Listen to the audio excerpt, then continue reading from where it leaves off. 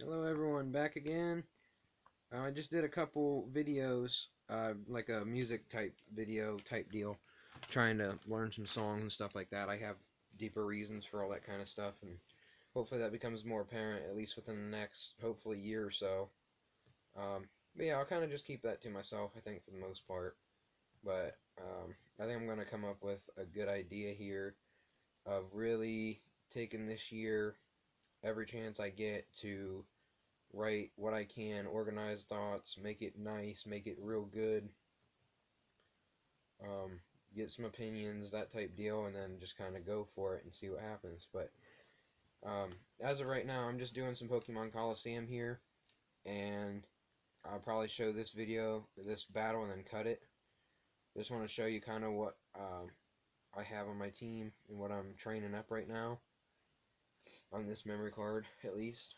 So I nicknamed a bunch of my Pokemon based on their nature, so that was good. So you see like plus special attack, minus attack, and then I put dot dot dot, like I'm not sure if that's really good or bad. For Raikou, that's probably pretty good though. Um, I'm hoping Azumarill will set up a rain dance, because why not?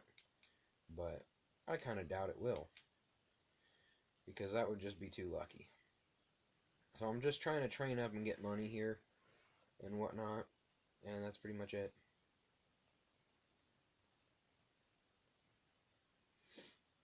Okay. I mean, these are pretty much just easy. Just walk in the parks, cakewalks. They're just nothing. There's a board to kick down. Not hard at all. I mean, I'd like if they proved me wrong. That'd be nice. But it just doesn't seem like I get too unlucky, which I, mean, I can't really complain too much about. Shouldn't complain about how lucky you are, how good you have it for sure. Okay, knock out Medicham.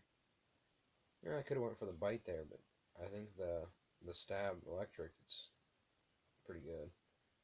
I really wish I had a magnet on here. That's the really big problem is if I had a magnet or something like that with Raikou, oh my gosh, that thing would be disgusting. I wonder if they did that on purpose. I mean, Entei and Entei and Suicune are pretty broken with um, what they have and whatnot too, with the Mystic Water and Charcoal. But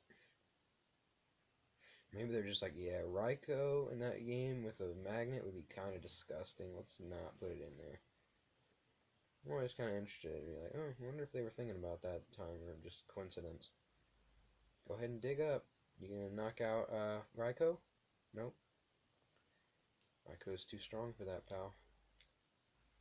Which is quick attack. Let's just see if it does enough. Why he has quick attacks beyond me. I mean, it's a good move, but he's dang near outspeeding everything as it is. So I might switch that out for Calm.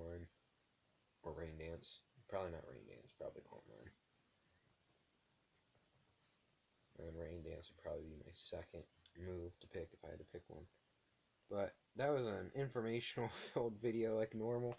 And I'm going to go to the next battle here. Thanks for watching.